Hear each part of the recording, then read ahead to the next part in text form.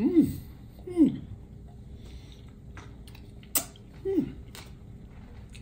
Obvious ba matakaw ako?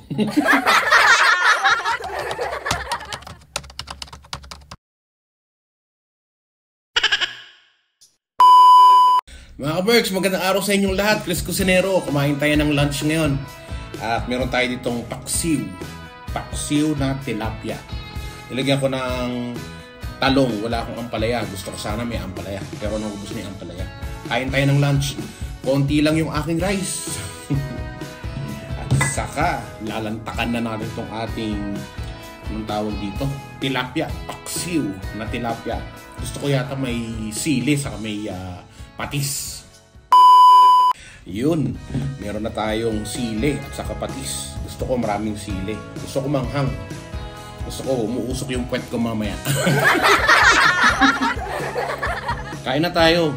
Kain tayo ng Pinoy food, syempre. Hmm, sarap.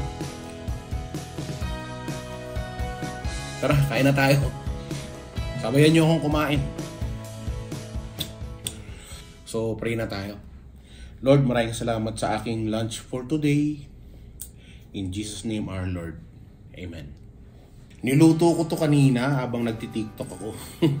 Kaya mga kaibigan natin sa TikTok, alam nila kung ano tong ulam ko ngayon. meron akong TikTok ha. At meron din akong Facebook page.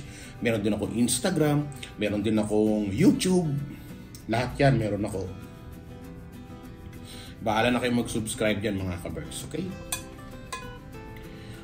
Wow, sarap na ito. Saka yung ating patis na may sili. Sarap na ito talong sa paksiw. Mm. Hop. Tingin ko mabibitin ako sa rice. Konti lang rice ko eh. Alam niya.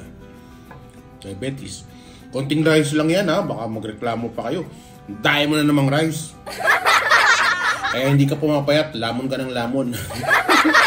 Alam ko na sasabihin nyo eh. Sanay na ako sa mga sinasabi nyo. Ngayon lang ulit ako kumain. Pwede na!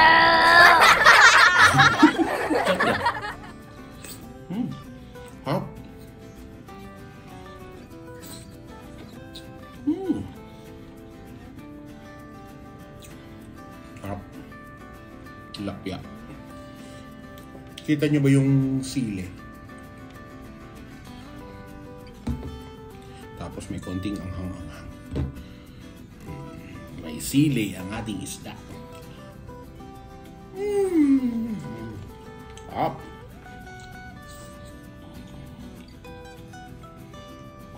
Nung nasa Pilipinas ako, napaka swerte na namin pagka meron kaming ganyan kalalaking tilapia. Ang binibili kasi ni nanay, maliliit lang na isda, yung tilapia. Mura kasi yun eh. Tapos, pinapaksiw niya, ah, sarsyado yung iba, piniprito, tapos sarsyado. Yung iba naman ginagawa niyang daing. Binibalad niya sa araw. Binababad niya sa suka may bawang na may sugar. Hmm. Kain tayo mga kabets. Samahan niyo si Chris Cusinero. Mga tinik, kailangan naalis natin yan. Yung mga tinik sa ating buhay, naalis natin yan. yung mga tinik na yan, dyan yung mga tinik na yan. Kayo mga tinik dyan, kayo ha. sa tabi lang kayo ng buhay ko.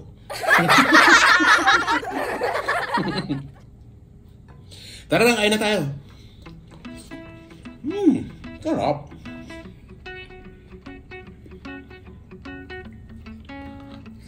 Hmm, hmm. First time ko na walang gagawin kundi kumain sa vlog.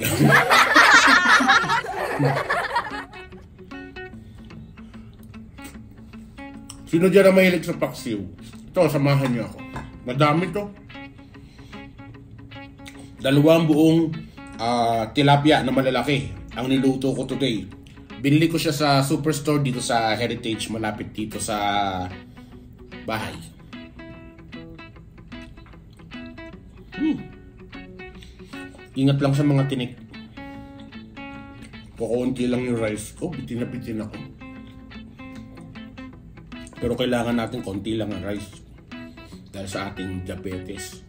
Sabi nila bawal din daw yung pati sa di- diabetic. Totoo ba?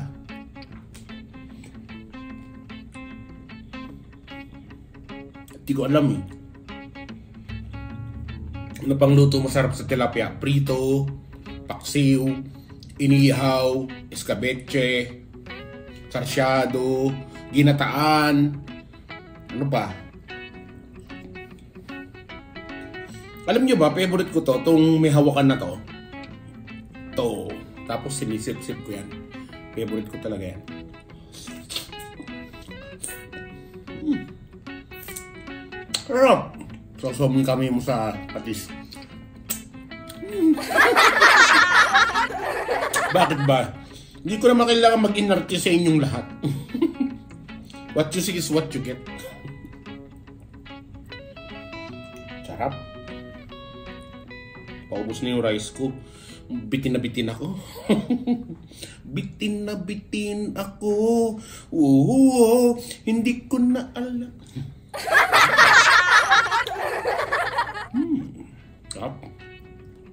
Gusto ko yung mga ganito, yung mga nakasabit sa tinik, mga nakasabit sa mga buto-buto ng isda. Hindi ko alam kung bakit.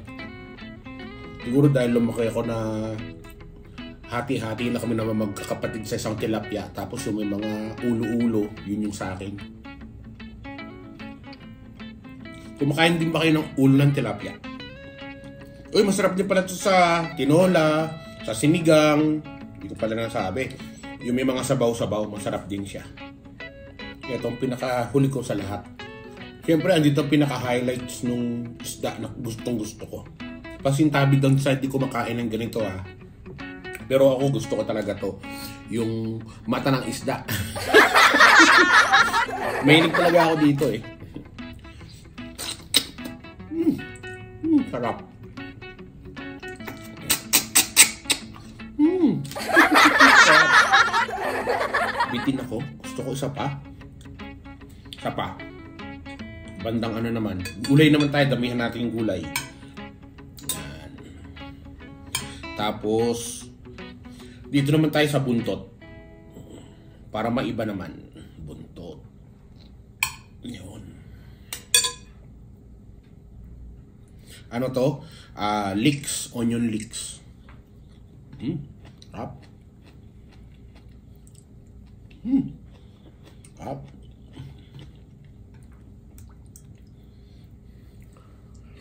Hmm.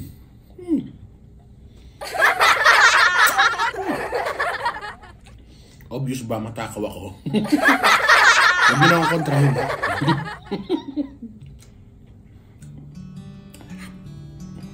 oh, bumili na kayong tilapia, ipakso nyo. Sarap, promise. Lagyan nyo ng ginger, ng patis, ng konting sibuyas, ng sili, ng talong. Kung meron kayong ah, ampalaya, lagyan nyo rin ng ampalaya. Hiwain nyo yung ampalaya, tapos ilagay nyo din dyan. Sarap. Luto to ni Lola ko eh. Dito ako lumaki sa paksiw na may ampalaya at saka may talong. Hindi kasi kasya sa amin yung minsan magluluto ng isda tapos ilang piraso lang yung isda. So, dadamihan yung gulay. Pwede naman yan eh. Diskarte nyo kung anong gusto nyo, kung anong gustong gulay ang ilagay nyo.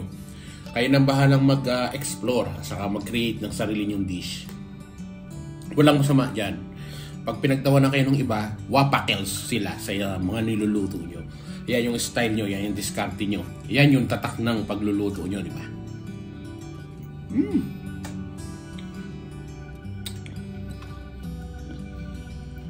Ako kahit sabihin ng iba, hindi ganyan ang pagluluto niyan, hindi ganyan ang pagluluto yan. Wapakels. Wapakels. Vlog ko to, bahala ka sa buhay mo dyan.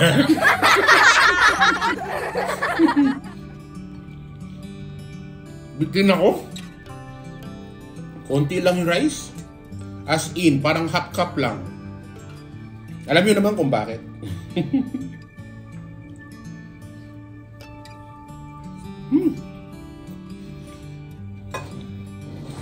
Ayoko na. Ayoko na. Busog na ako. Water time mga kabergs.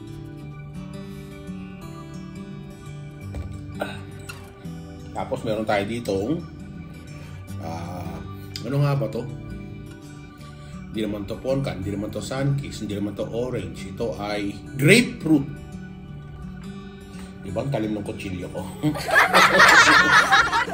grapefruit mga ka-Berks! Sino mahilig ng grapefruit dyan? Naku, naamoy ko pa lang, ang asim na. Parang kilikili ko lang. Parang pagmumukha ako. asim. Pinapasaya ko lang kayo para masaya kayo habang nanonood kayo ng video ko.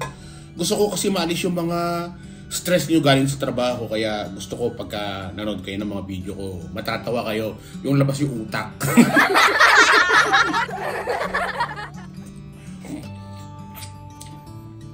Mm. Mapait-pait siya. Siyempre, ang tawag dito, grapefruit yan.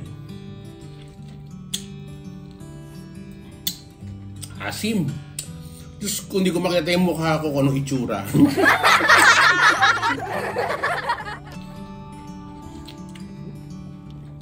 Woo! Nanginginig ako sa sobrang asim. Tapos yung ngipin ko, nangingilo na sila. Ko na maubos to. Sobrang asim. Paksiw, maasim. Konting kanin. Tapos to, maasim din. Ako naman.